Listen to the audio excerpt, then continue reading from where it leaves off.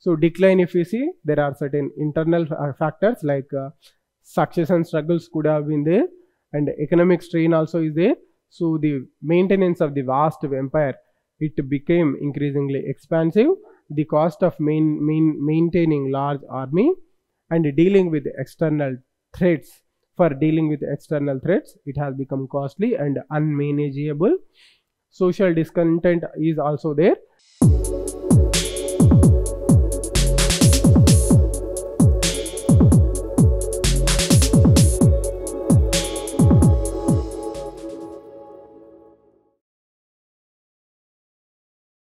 Good evening, students. Welcome back to Plutus IAS. Right, today is our 63rd day. Right, today is our 63rd day, and today we are going to study about the Guptan Empire or Gupta uh, Gupta Empire also. So after the Mauryas, uh, if we leave the Shatavahanas period, so we can say Guptans are the uh, another prominent dynasty. So Shatavahanas also we cannot consider consider them as less. Their contribution also in the fields of whether it is police, polity, and for that matter in the art and architecture also etc. So they have also contributed a lot. So after Satavahanas, the uh, Pataliputra as the center, Pataliputra or the Patna as uh, I mean capital of uh, the empire. So one more dynasty emerged that is known as the Guptan dynasty or the Guptan empire. So uh, we can say after the Mauryas they have had the greatest territorial extent until until the time of we can say Delhi Sultanate or for that matter the uh, Mughal Mughal empire. So after the after the Mauryas, uh, they had the greatest the uh, greatest territorial we can say control over India, most parts of the country, control over the most part of the country um, after the Mauryans, right? So I mean they have they are known for uh, some uh, some things, especially uh, earlier historians used to call this age as golden age right golden age right. So there are they have taken several reasons. One reason because uh, we know here most of i mean we uh, know details about the most of the things. Uh, we can say with certain i mean uh, what i meant to say is we have lot of information to know about the kings here. So because of that we know about chandragupta 1 chandra uh, samudragupta and chandragupta 2 so like that through the puranas especially. Uh, we know the lineage and the uh, lineage of the kings and similarly we have a lot of information about the kings. So because of that reason uh, some historians have called this age as the age of uh, golden age, age of uh, we can say golden age swarna yuga. Uh, but however the modern historians or the marxist historians oppose this name. However they acknowledge uh, the growth and uh, growth and development of art and architecture art and architecture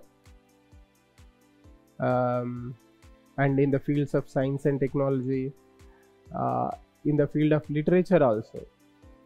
Literature science and technology we will see the varahamihira varahamihira brahmagupta and Sushruta etc we hear many scientist names literature also we will see the I mean Kalidasa, the greatest poet of India, we can say. Kalidasa. Uh, if we see his works, if we observe his work, so the content he is uh, discussing, the geographical features he is discussing, uh, we can attribute Kalidasa to the time period of time period of Guptans only, and maybe most probably he might be hailing from the Kashmir region of India. So Kalidasa is associated with the Guptans. So he is a greatest. Uh, he is one of the greatest playwrights, not only in India but across the across the world. We can consider him one of the greatest playwrights. Right.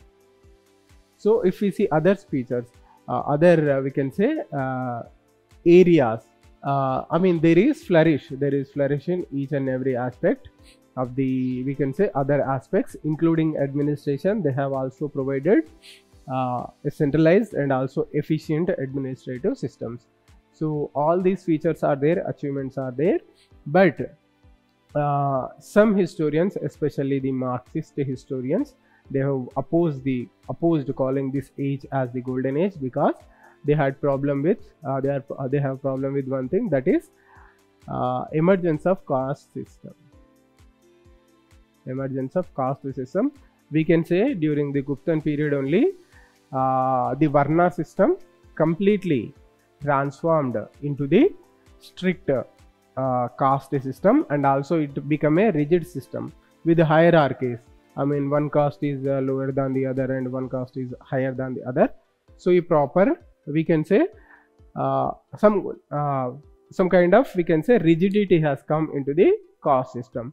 And the caste being decided based on the birth. Right. So because of this reason uh, some of the historians oppose calling this age as the age of golden uh, i mean golden age. However recognizing the development growth and development in other areas this age can be called as the age of classicism. Age of classicism. Age of classicism. Right. So uh, we can say this is the brief overview of this dynasty. And uh, try to know about the views of the different uh, we can say streams of uh, historians also. You should be aware of this one. Right. So this is if we see the time period broadly they were rule, uh, ruling in the 4th century to 6th century AD uh, the years are 319 to 467 AD right. So founding and rise. So after the Maurya they are the more um, major dominant dynasty uh, in the Indian history. Right for this uh, dynasty, Chandragupta I, he is considered as the founder of the dynasty and he is also one of the greatest rulers of the dynasty. Right. So uh, about the golden age, we have already discussed here. So some historians call it golden age because because of the strong lineage of the kings and the flourish uh, flourish on the growth and development in various areas but other historians uh, dispute this. Uh, they do i mean it's not a, they say that it's not a golden age because we also see uh, one of the social disabilities uh, that is i mean caste system. It is considered as the one of the social disabilities that has also consolidated in this period. So because of that reason uh, they dispute that it is not a golden age However, we can uh, recognize the growth and development in other fields like science, mathematics, astronomy, literature, art and architecture, etc. Uh, this period is also known for some renewed scholars like Kalidasa, Aryabhatta, and Varaha Mihira. Right.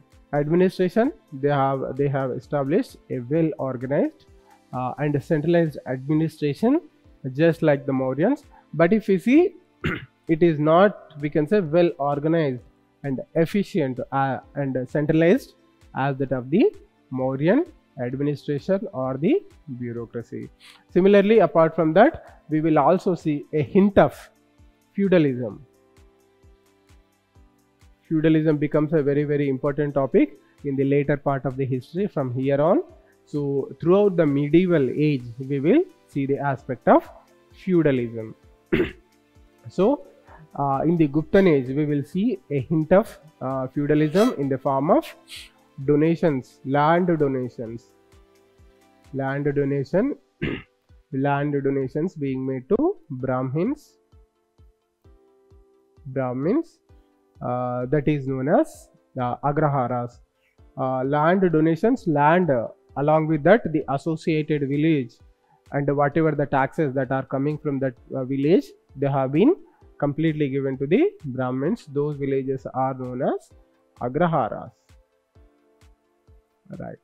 So here later the earlier the donations were for the brahmins and later the whatever the bureaucrats or we can say the important uh, members of the court they are there they have given or assigned some areas land and associated villages they have been assigned to the important officials of the court and they were paying taxes to the king and they are maintaining military.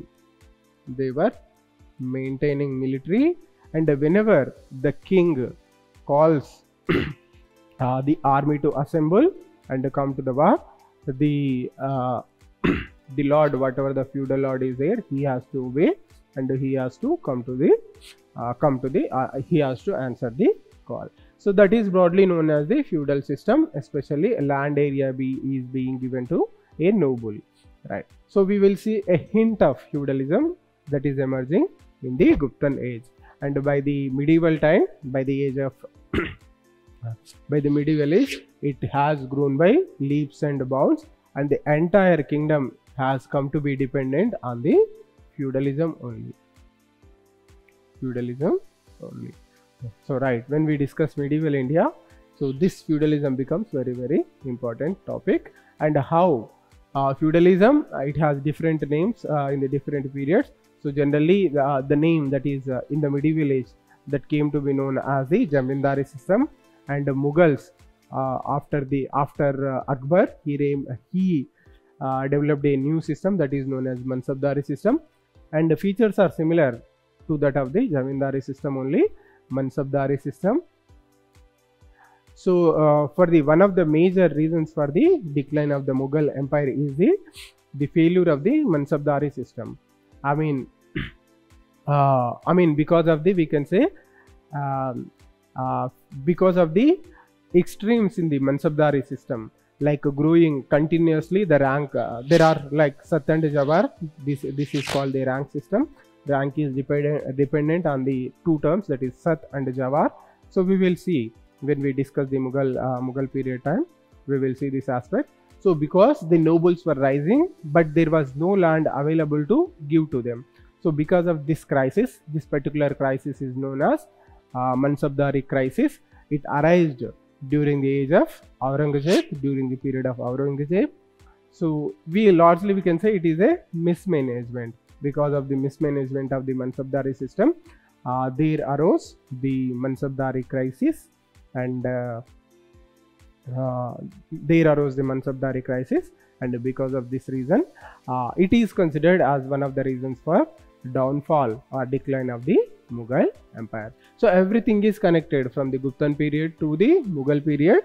Uh, we can connect uh, the history through the feudal feudalism or the feudal system so because of this reason i mean it is not at all favorable to the common people who are tilling who basically work on the land and who toil on the land. So after achieving independence we have chosen the indian government has chosen to uh, we can say remove this system. And for that matter we have brought the land reforms right? So we will uh, see this everything uh, whenever the relevant topic comes okay? Right so uh, we will see wha- the point i was uh, trying to make is a hint of feudal system also we will see here. So they have provided an efficient administrative system. Uh, the empire was uh, divided into provinces districts and villages. The respective vocabulary for that we will see later in this lecture only. And also apart from that they have developed a complex tax system. So decline so apart from other reasons the decline of the guptans are also uh, we can say linked to the attacks from the huns. These are the central asian uh, central asian tribes. So the central asian intrusions we have studied in the post maurya topic also. So many series of central asian invasions have come. They have uh, i mean they have had their empires in, uh, uh, connecting the lands from iran to afghanistan pakistan and most parts of india so they have had their uh, kingdoms also. However the huns choose to repeatedly attack and uh, go away. So because of their attacks violent attacks they treated war as a sport. So they are a violent tribe. So because of uh, huns uh, uh, recurrent uh, attacks the empire the western border has weakened and also the central authority also they could not have the proper means to face these Huns attacks. So because of the uh, reason the empire has we can say the regional rulers became powerful and they have declared independence. Because of that the guptan empire has ceased to exist. Alright. so this is about the decline. There are other reasons also. We will also see the what are the other reasons. All right. So the uh, age it is the guptan age if we see it fostered a cultural and intellectual renaissance renaissance. So because of this reason uh, this reason it this particular age though there is dispute about calling this age as golden age we can comfortably call it as age of classicism. Classicism. Right so if you see the brief uh, we can say growth and development or achievements of this age ex uh, beautiful art and architecture has been created. Uh, temples we can see lot of temples sculptures and also we will see cave paintings right? Advancements in science and technology mathematics and also uh, including the development of decimal system also we will see right? Flourishing literary works now they are recognized and uh, due credit is given to them like plays like abhignana shakuntalam and epics like ramayana and mahabharata. They have been like put down to writing. Epics like ramayana and mahabharata for that matter the puranas also they have been put down to writing. So earlier they were in just in memory. They were uh, kept. They have i mean they have been maintained in the memory through recitation. They have been uh, kept living through the recitation and memory. Now during the guptan guptan age they have been put into writing. Right. So these are the some of the achievements. If important rulers if we see in the guptan age sri gupta he is considered as the uh, sorry chandragupta one was the earlier i said chandragupta one was the founder sorry he is considered as a real founder and consolidator. However to begin with the dynasty is began by sri gupta. He is the first ruler. Uh, the dynasty was founded by sri gupta. Later ghatotkacha gupta gupta he is the second ruler. He is the son of sri gupta, uh, uh, sri gupta. If we see the famous and most dominant guptan uh, kings there are we will see a series of five strong and important guptan rulers. So because of them only the kingdom or empire has been consolidated and uh, i mean it flourished. Not only uh, in terms of administration but also in terms of art and architecture science and technology and also literature due to patronage patronage of the these particular kings. So among them the kings are chandragupta i samudragupta he is also among the guptas he is considered as the most and most important and most famous. He is renowned as the napoleon of the east or indian napoleon because of his military strategy and achievements. Next is chandragupta. He is also very important ruler.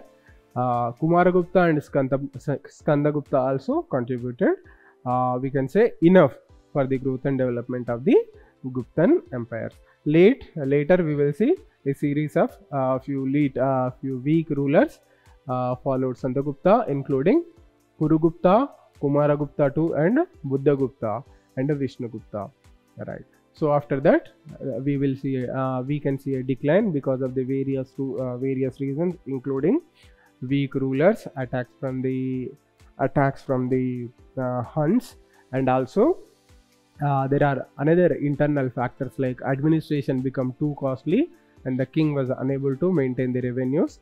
Uh, i mean uh, he could not able to balance the administration and the revenues. So because of all these reasons the empire has declined. Right.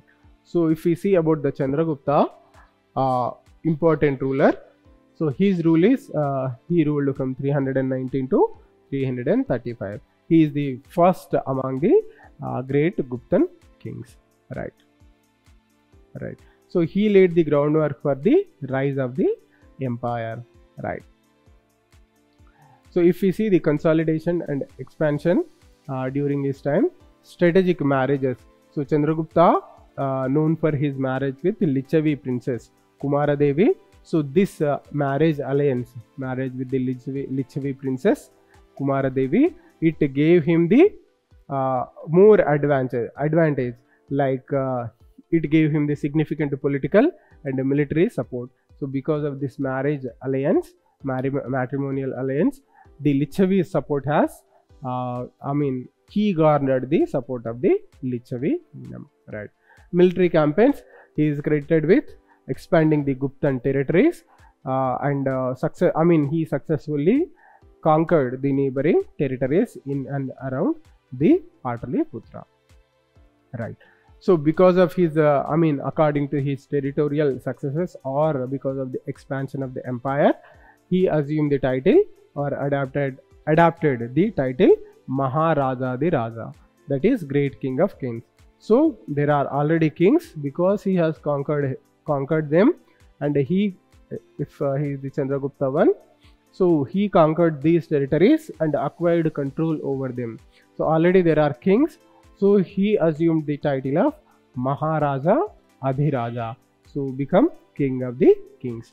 So from here on, Maharaja Adhiraja, this title has been, uh, we can say almost taken by every, each and every king that uh, those came after uh, the kings and whenever they assumed the throne, they have taken this title, Maharaja the Raja, right.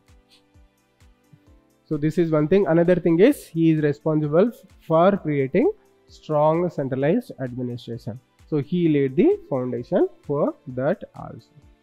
Uh, next is the most important and uh, uh, significant ruler in the entire Guptan dynasty that is the Samudragupta right so his reign is attributed from 335 BC to sorry AD to 375 AD. So effectively he ruled for uh, almost 40 years, right?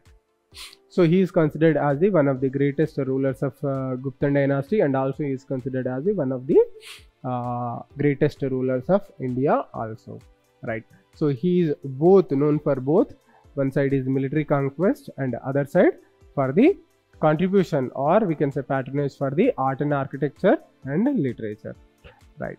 So he is son of the Chandragupta one, right? Uh, military campaigns. So because of his prowess in the military campaigns, he he's uh, he is renowned as the uh, Nap Napoleon of India because of his extensive military campaigns, right? So because of his uh, I mean expansion, he assumed this. I mean he is known as the Napoleon of India. So the famous Allahabad inscription. Allahabad pillar inscription. Inscription. Uh, through this inscription we will come to know about the territorial expansion of the Samudragupta so it is alternatively called as the Allahabad Prashasti. Allahabad Prashasti right because it is known as Prashasti because it is I mean the whatever the inscription is laid it is laid for praising the achievements of the Samudragupta only. So interestingly, the Allahabad pillar inscription, it has written on the pillar that is laid down by Ashoka. So Ashoka, Ashokan pillar is there. Ashoka installed a pillar here in Allahabad. So you know very well that Ashoka, uh, he, apart from writing on the rocks, he has installed some pillars also and there his inscriptions have been laid down so uh, Samudragupta, his administration administrators found a pillar, an interesting pillar, and there is large space left out on that pillar. So they have laid another inscription in the name of Samudragupta on that particular pillar only. However, it is known as Allahabad Prashasti or Allahabad pillar inscription. It is commissioned by Samudragupta. So it has the details of his entire military campaigns right so majorly uh, his conquest can be divided into six strategies he has assumed six strategies uh, when he waged war and uh, acquired territories. Right.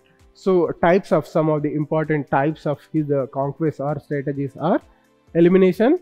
So he completely annexed some kingdoms, uh, incorporating their territories within his own kingdom. So mostly he followed this territory, this strategy for the neighboring kingdoms that are immediately uh, neighbor in neighbor in neighborhood of uh, Pataliputra.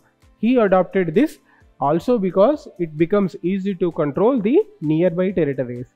Right. So here he followed the strategy of complete elimination. Next is subjugation. So for other kingdoms, they were divided, uh, I mean, which are divided by Samudragupta. He forced them to pay tribute to the Guptans, acknowledging their supremacy. Right. So this uh, he adopted this strategy for little bit some more distant kingdoms there it is uh, it becomes easy and possible uh, possible for him to exert his authority on the kings whatever the uh, local kings are there. Next is another uh, we can say strategy is uh, alliances. So some of the uh, samudragupta ent entered into former strategic alliances with other some other kings expanding his influence without direct control. So apart from that, in the coastal area, present coastal in the area of Andhra Pradesh, Odisha, so there were some tribal kingdoms. So he uh, waged war on them and uh, defeated them. However, he restored their authority. I mean, he restored the kingdom to the previous kings only. So he, in this way, his uh, influence has expanded.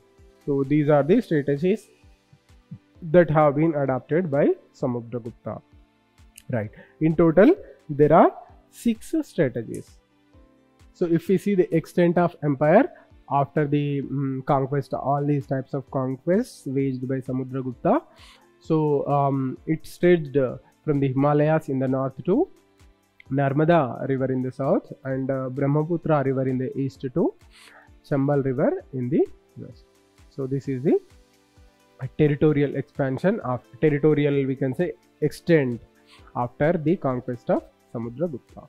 Right. Cultural achievements, if we see, he is a great pattern of arts.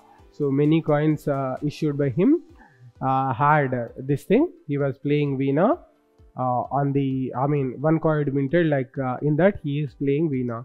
So because and under that, under that image, it is written as as Kaviraja. So in this way, with that inscription or coin for that matter we come to know about the we can say interest of uh, Samudragupta in art and architecture or for that matter music right? So he depicted as a skilled musician and a poet in his historical records especially the coins. Right. Next is ashwamedha. It is believed that samudragupta also conducted or we can say he held Ashwamedha sacrifice, he performed Ashwamedha sacrifice, signifies signifying his imperial power. So after that, another ruler is the most significant ruler in Gupta dynasty is the uh, Chandragupta II. So he is known for title Vikramaditya, right? Or alternatively, he is also known as the Chandragupta Vikramaditya. So Vikramaditya, it is a interesting and a very important title many kings after Chandragupta II, they have also started assuming this title, Vikramaditya.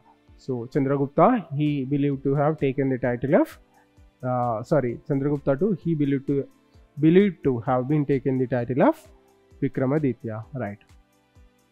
Right.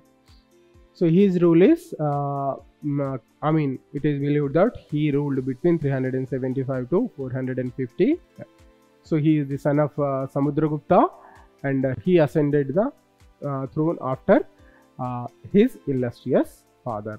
Military com uh, campaigns, if we see campaigns, so he continued the expansion that has been started by his father.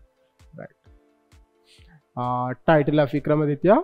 So some silver coins issued at that time, I mean during his time, depict the name Vikramaditya, meaning the uh, literal meaning of the title is son of valor right so uh, because of the popularity of this title later kings also they have also started i mean many of the later kings also started assuming this title vikramaditya right? So it is believed that chandragupta had his capital at ayodhya.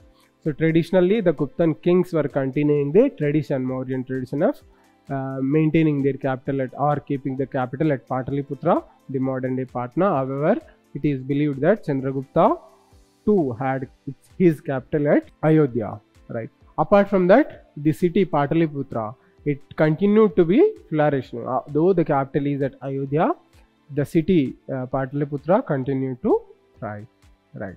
So his uh, his rule is known for peace and prosperity. Uh, apart from Hinduism, apart from Hinduism, there is or there was tolerance for other religion, uh, other religions also, especially the Buddhism. Right. So Buddhism also patronized at this time. So many we can say nobles and also the queens they have commissioned the construction of various stupas, Buddhist stupas. So Buddhist stupas that is started construction of Buddhist stupas that also started during the Maurya, period. It even continued in the Guptan era also. So he, this shows the religious tolerance of the Guptan kings. Right. Especially Chandragupta II is known for uh, benevolent his benevolent, benevolent way of ruling and also for his religious tolerance. Right. He is a great supporter of learning. So he, uh, he actively patronized scholars and artists, attracting renewed figures like astronomer Varaha Mihira and a celebrated poet dramatist Kalidasa to his court. Right. So this is about Chandragupta II. So one of the famous uh, Chinese traveler also uh, came to India during uh, the time of Chandragupta II only. Uh, right. Uh, and he converted into Buddhism, that uh, famous Chinese scholar. And he, whenever he went to China, and he uh, converted, or we can say, invited many other people into Buddhism. So, in this way, also Buddhism spread in China during that time. Right. So, it is believed that Chandragupta is believed to have been a follower of Vaishnavism, uh, Vaishnavism, or Bhagavata, Bhagavatism also we can say it is a Hindu sect of worshipping Vishnu. However, he practiced religious tolerance, allowing other religions like Buddhism and Jainism to thrive. Right, we have already seen this. Next, another uh, important ruler is Kumaragupta. Right, so inheritance he Kumaragupta inherited a vast Gupta empire from his father Chandragupta too. Right. So he also it is believed that maintained control over the entire. So apart from that, he also performed the Ashwamedha, asserting his authority. Right. So he also uh, assumed the uh, assumed the title of Maharaja Adhiraja, just like his great great grandfather. Right. Right. So apart from this title, Maharaja Adhiraja, he also uh, I mean assumed other titles like Paramabhattaraka, meaning Supreme Lord. So these signify his, we can say, achievements also. Right. So the last, uh, we can say, strong ruler of the Guptan dynasty is Skandagupta.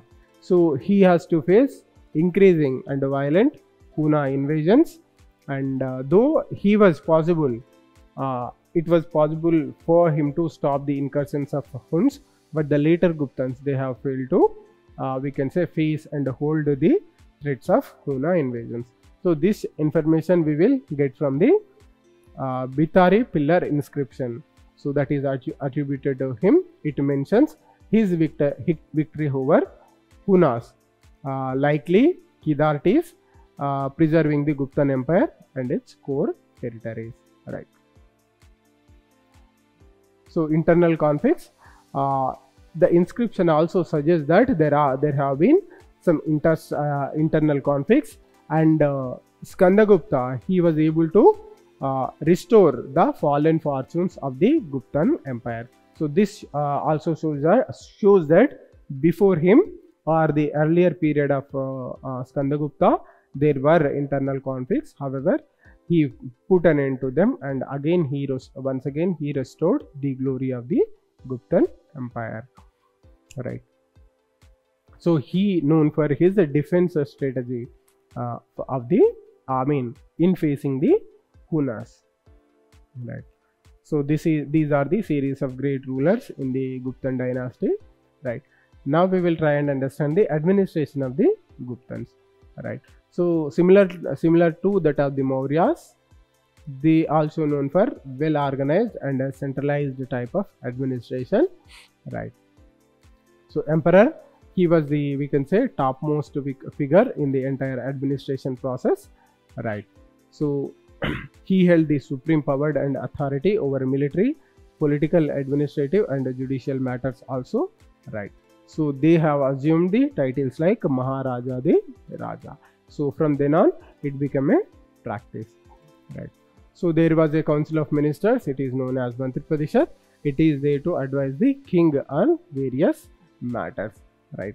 So it comprised of high ranking officials who advised the emperor on various key administrative matters.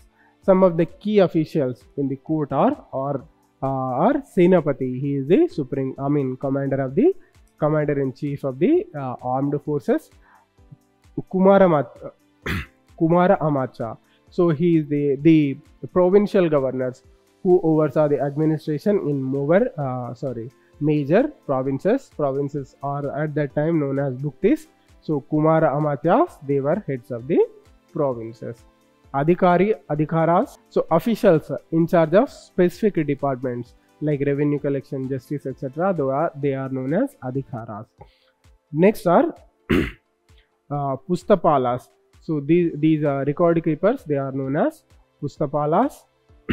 They maintain the official documents and records including accounts so if you see the provincial and the local administration first are bhuktis the provinces are known as bhuktis the entire kingdom is divided into provinces like bhuktis bagos and pradeshas. Right. So these provinces they were further subdivided subdivided into district. So districts at that time were known as vishayas and villages. Villages are at that time known as gramas. Right. Vishayas so each district was headed by a vishayapati who was responsible for maintaining land law and order collection of uh, taxes and supervising local administration. Villages if you see so the village the smallest it was the smallest administrative unit. It was governed by a headman called gramapati right or gramadhyaksha right. So villages had a significant degree of autonomy in managing their own local affairs. Taxation system. So if you see land revenue was the major source of income for the uh, we can say empire right? Other taxes were also levied on trade crafts and other economic activities. However land revenue was the major we can say revenue source of revenue for the empire. Military they had a large standing army right? So to defend their vast empires military innovations. So they uh they i mean unlike the mauryans mauryans have increasingly or majorly dependent on the elephants uh, the guptans. So not like that.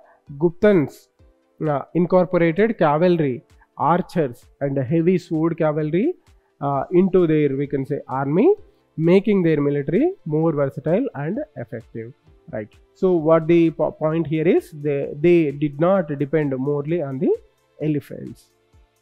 Right. So decline if you see there are certain internal uh, factors like uh, succession struggles could have been there and economic strain also is there.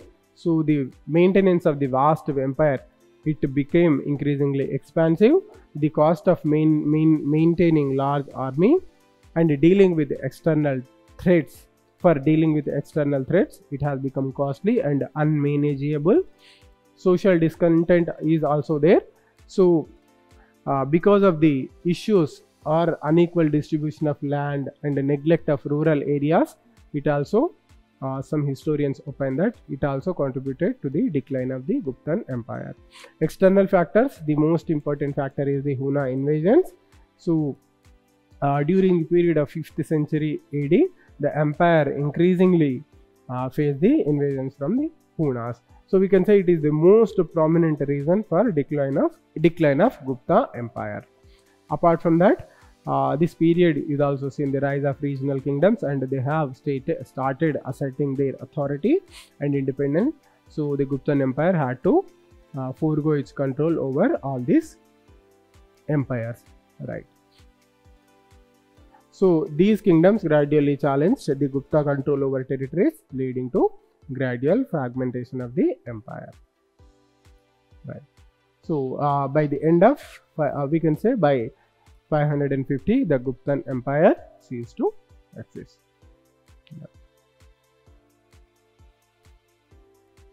So this is about the Guptan Empire. So mostly I have concentrated on the chronology only. So if you have the idea about the chronology and some aspects about the administration, you will be in a position to address uh, at least uh, at least uh, I mean you will be in a position to at least eliminate the options and uh, you might have uh, you can arrive at the answer uh, in the prelims examination right? So that is my intention right so now we will see some questions that are asked from this topic in the previous exams first question it is asked in 2021 question is uh, from the decline of Guptas until the rise of Harshavardhana in the early 17th century, which of the following kingdoms were holding power in northern India? So, uh, this is the reason I am much more focusing on the dynasties.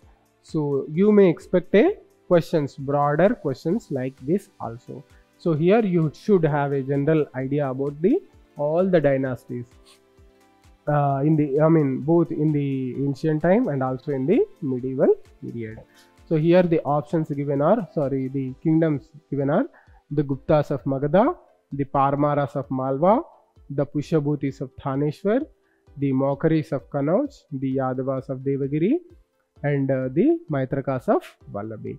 So among these, so the Yadavas basically we consider them as the uh, medieval kingdom, right? So the Paramaras of Ma, uh, Malwa also they are mostly the we will consider them in the uh, medieval age, not in the uh, ancient period. So though even if we are consider them in the ancient period also they came later part. So the Paramaras are mostly the Rajputs. They are one of the Rajput kingdoms, one of the Rajput kingdoms. So it came, we can say, uh, because mostly they have arrived on the scene after we can say in the later part of the ancient uh, period also in the early part of the medieval period. So the correct option is uh, guptas were there pushyabhutis were there maukharis were there and the maitrakas were there. So correct option is option b 1 3 4 and 6 are correct. Right so in this way you should have a broad idea about the dynasties also next question uh, I think it is asked in 2020. Question is, with reference to the scholars or literate, uh, literates uh, of ancient India, consider the following statements. Uh, the statements are Panini is associated with Pushyamitra, Amarasimha is associated with Harshavardhana, Kalidasa is associated with Chandragupta too. So among them only third statement is correct. The famous playwright uh, Kalidasa, poet and playwright, he is associated with the Chandragupta too. So it is uh, believed that Chandragupta has invited Kalidasa to his court. So the above two sentences are incorrect. So when we cover the art and culture topics also, you will be in a better position to answer this question much more. Uh, in a, you will be in a much more better position. So however, uh, this already we have studied already this one. So the correct option is option C. Only statement 3 is correct right so uh, this is it for today thank you thank you for joining the class see you next time until then have a good day let's see you next